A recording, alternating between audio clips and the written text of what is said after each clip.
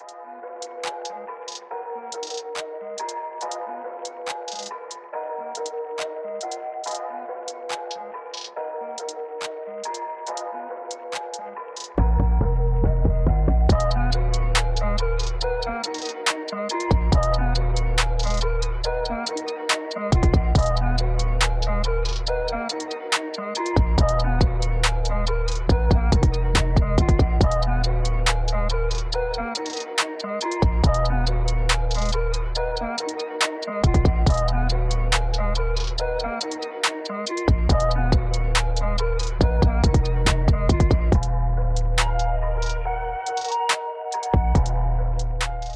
Starting from its grand opening in 1902, the Mount Beacon Incline Railway brought passengers from a small city on the shores of the Hudson River to an elevation of 1,200 feet on top of Mount Beacon.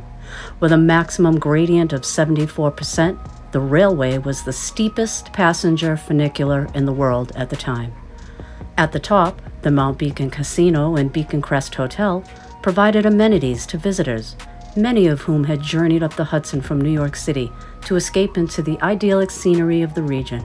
Beautiful panoramic views of the Hudson Valley could, be seen from the railway and the summit. In its first year, the railway sold 60,000 fares, and by 1922, that number had nearly doubled.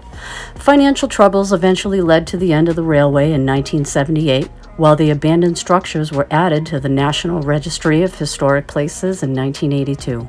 A year later, a fire, blamed on the Vandals, destroyed part of what remained. Today, the incline railway and summit buildings lie in ruins. And if we hike a little further, about six and a half miles, we can make it to the fire tower. So come along and join me on this hike, and I'll see you at the top.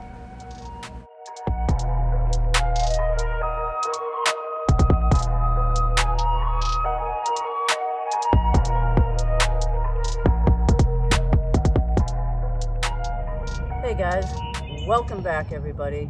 Today, as you notice, some railroad tracks. Um, I am at the base of a mountain and uh, this place was built in 1902 and basically it's a railway or an incline that went all the way up about 1,200 feet to take passengers up to a casino and a, and a hotel. So um, we're gonna hike that today and I'll show you some ruins and then go a little beyond that. So let's go.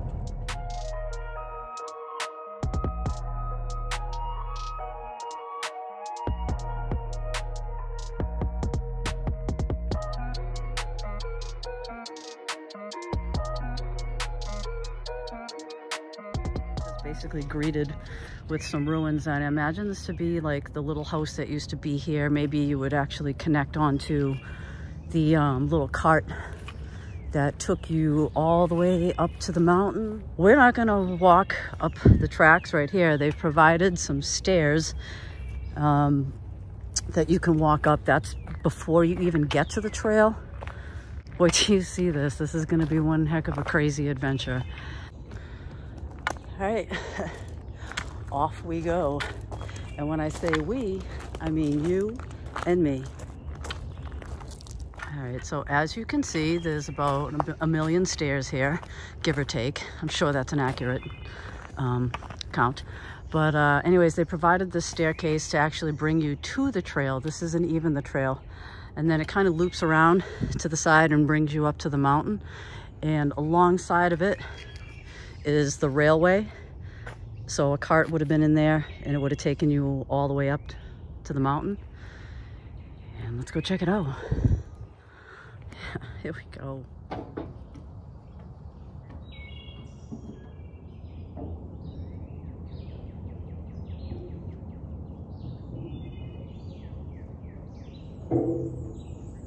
Talk about getting some cardio about, I don't know, 6.30 in the morning. It's about 50 degrees and uh, it's supposed to be nicer out. I'm kind of hoping that's the case.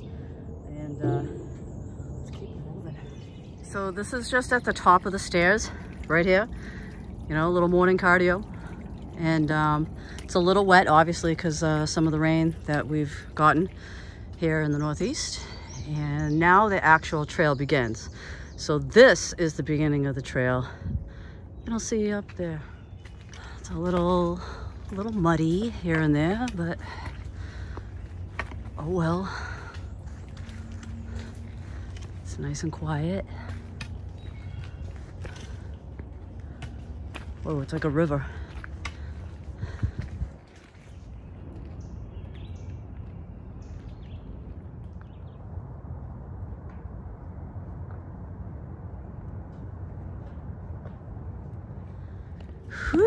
Pardon being out of breath, but that right there for, I don't even know what it is. It looks like the base. Maybe it could have been a light, who knows.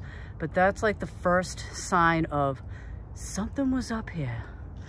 So literally it's a windy trail. It's uh, got some switchbacks, left, right, left, right, trying to get all the way up there. And uh, I'm so out of breath, but it's so worth it. I'd show you a view, but there really isn't one right now. You know what I mean? There's nothing really here, so continue on. To the top we go. And when I say we, I mean you and I. Oh my God, this is insane. Uh, this trail is rated as difficult and it's not so much that, uh, you know, the trail, it's, it's, it's not that it's like that steep, it's 1200 feet. It's just that the grade, the grade is like seriously steep. I feel like I'm just like leaning forward.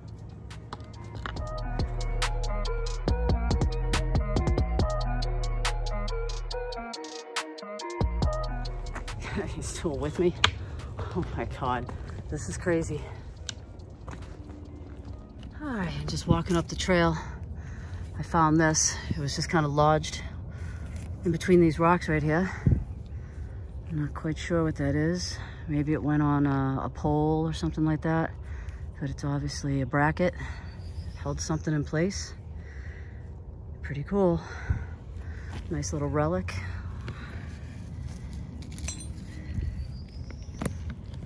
All right, so I'm coming around the corner. That is the first signs of ruins. So basically we're just about at the top and that right there would have been the machine that pulled the cart that came up the side of the mountain to bring the passengers up to the casino and the hotel here. So I think I'm gonna go this way and bring it around the other side and show you these awesome ruins. I was here a couple years ago and it was, uh, it's been on my mind to come back here for a long time and I've wanted to do that for so long. So finally I get the opportunity to do that and uh, I'm happy to bring you along with me. The ride was about three and a half hours, although it took me almost four hours because sometimes I like to stop. You know, it's all about the road trip. I have anxiety, so sometimes I freak out on the road and I just have to stop and get my bearings and move on. But you know, it is what it is. Wow, this is so cool. See at the top. To my left is the ruins I just showed you. And what I'm coming up on now um, is the old hotel ruins, but I'm just gonna wait a second and bring it around the other side first.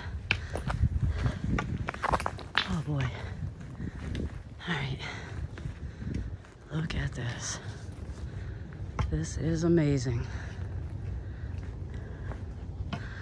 Now, when I say the term rusty relic, this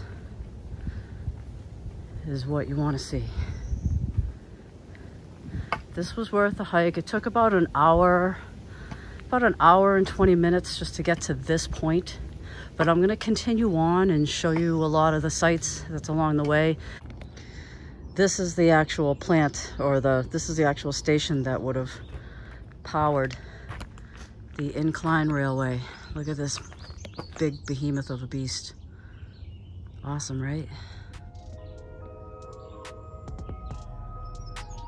Guys i don't know if you can see that right there but a little bit of the rail is left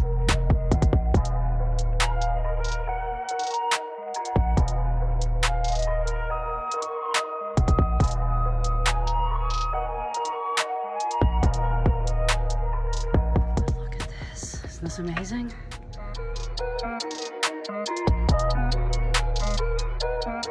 Here's the bricks. Um, It looks like it says DPBW.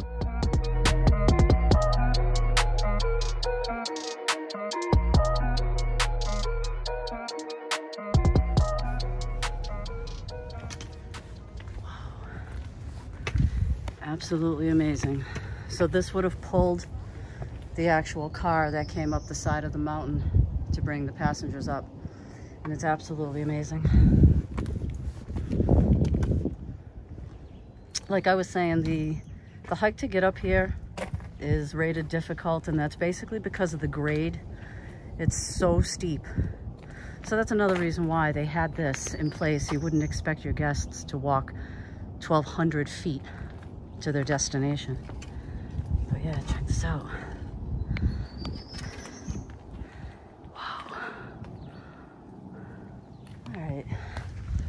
So that was the the little station, the little incline railway pulley system.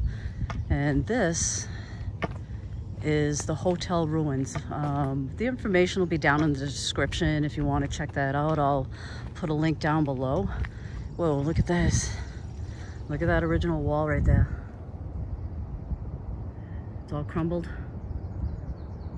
And that right there is a view of the Hudson River. Pretty cool, right? I might try and send the drone out over the river. Get some shots. But this is what it looks like right here. And this is the view that the guests would have right out onto the Hudson River. You can see the bridge over there. Let me see if I can zoom in. See that?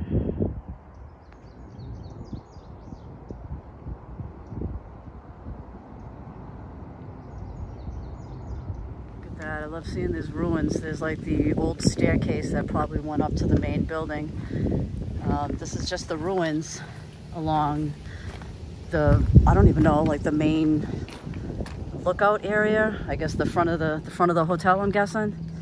And I know off to the side over here, because I saw it the last time, there was a, in looking for this tower, I thought this was it, but there's a tower down here that's basically fell over on its side, whether it's an old fire tower but um, look at these views. And these views really aren't, th this is of course a view that I want to show you, but this isn't the view that I wanted to show you. The view that I want to show you is at the tower. And I'm going to try and make my way over there. No, that's not it. That's actually an abandoned uh, power station over there. So depending on how motivated I am, I might go over there and show you that too.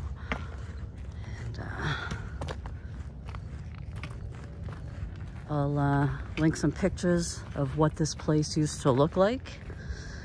It's pretty cool. It's some lost history. And it overlooks the Hudson. Amazing.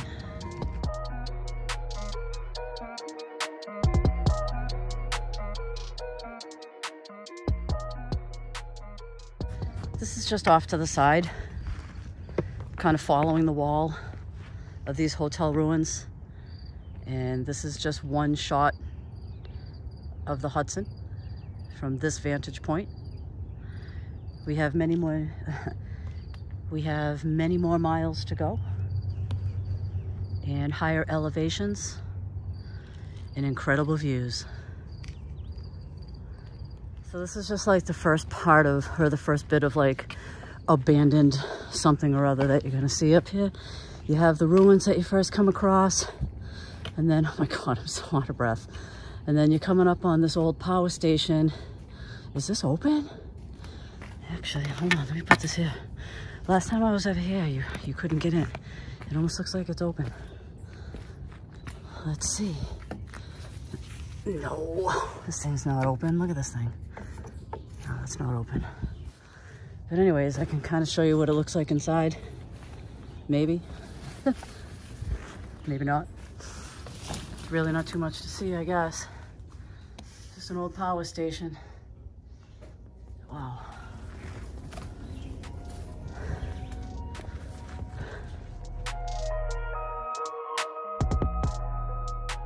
All right, just checking back in, showing you some scenery and just kind of making my way to the tower, I believe, and just going to show you sometimes the trail isn't always flat and like woodsy. This is actually the trail up over these rocks. It's pretty steep, but it is kind of fun. It's starting to, the sun's starting to come out, so that's pretty good. And uh, we'll just continue on, see what we see. Something just caught my eye over here. I am, I don't remember seeing this last time. This looks like the frame of a car or a truck or something out here. Not exactly sure how something would drive up here because as you can see, there's not really a path. Yeah, this is like some sort of uh, like um, truck or drive shaft of some sort of vehicle. Not too sure.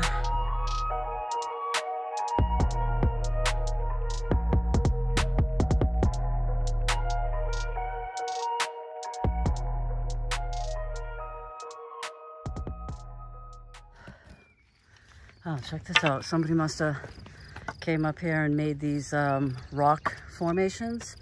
I guess they're called cairns or something like that. They're supposed to be good luck or I don't know. They say you shouldn't do these things, you know, but they are cool to see, but it's, it's a mixed thing. Some people say you shouldn't do these things. You should just, because uh, it messes with the natural lay of the land, so to speak. I mean, I think it does look pretty cool though. But anyways, moving on. Still got a long way to go. All right, so I decided to go a different way instead of walking like all around by the dam and everything. I'm gonna go up a different way because I might try and do something else out here. But the red trail now turned to white and I just wanna let you know what this means. When you see three blazes like that, obviously there's a trail going this way. And when you see a blaze where one is higher than the other, that means it's a right-hand turn. Um, so this is the way, I believe, to the tower. And we'll see you when we get up there. Oh, guys, it's like a muddy, like, river from, like, this point out. Check that out. It's like a vein of quartz going right through that. But this is, like, the trail, and it's a river and hopefully um, getting to the tower. I wish I could actually show you. I wish I could actually show you, but uh, the trees, you can't see it. Oh, it looks like something is there off in the distance. You can see, obviously, there's a couple of pillars with some rebar on it, so something was attached to that. I believe I am coming up to the tower. I feel like I've been climbing all day because um, I've been climbing all day and um, I wish I could actually show it to you, but I, oh, yeah, watch where you're going. But um, I guess I'll have to show it to you and I actually get around the corner and see it myself. So I guess continue on, continue up, and continue climbing. Oh man.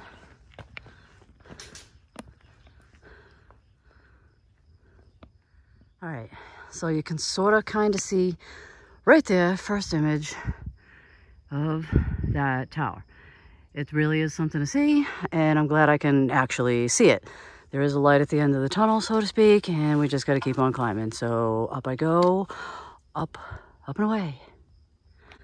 Oh my God, I'm so out of breath, but that's like the, that's the first view that you get right there. And uh, you can see the tower is still a ways to go. And just wait till you see the views. Okay, I'm still climbing. As you can see, there's like little marks to follow the white blazes and it's extreme, extremely steep and rocky. And um, let's see this way, okay.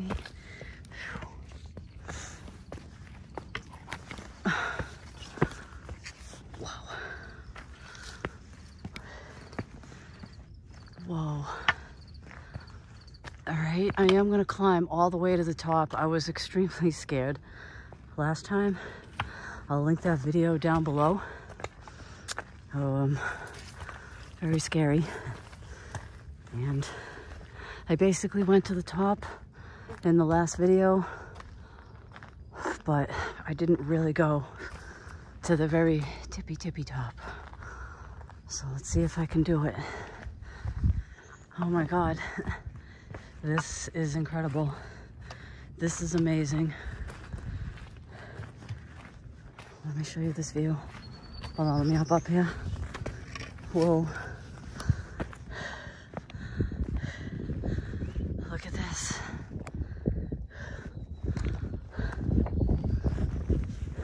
Wow. Just to give you a little perspective of where I am, that's the abandoned electrical place, or electric, that's the abandoned electrical uh, power plant that I was at. The ruins are, the ruins are down there, I'll show you. And wait till you see this view. Okay. These things are rickety as hell from what I remember. Whoa. From what I remember. Oh, that was just my walking stick falling. Oh man. All right. Yeah. Okay. I'm getting that vertigo feeling. This whole thing is uh, kind of shaking. And, oh man. Oh, look at this. Okay. All right. Hear that? Oh. Okay. All right. All right. This thing's shaking. Okay. Oh man. I mean, it has to be safe, right? I mean, it would have to be. Oh, shh. It would have to be safe. I'm thinking this thing would have to be safe because they do have it here. And, uh, oh man, this is actually further than I've gone before and I'm almost, uh, kind of at the top. okay, yeah, we're just gonna keep on going. Gonna keep on going. I'm shaking, I'm shaking. Okay. Oh. Oh boy. All right, let me just like take a moment to check myself over here. let me go over here and show you. See, that's the dam and uh, the water area that I came by last time. And over there is the ruins. Let's see if you can see that from here. Yeah, right over there. So this has been one heck of a hike.